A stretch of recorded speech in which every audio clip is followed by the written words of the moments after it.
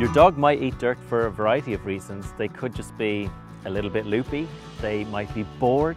Uh, there might be something tasty in the earth that we can't see or smell, but dogs will definitely smell. And finally, there is a condition called pica, where dogs eat strange things due to underlying disease. That's something you might want to check out.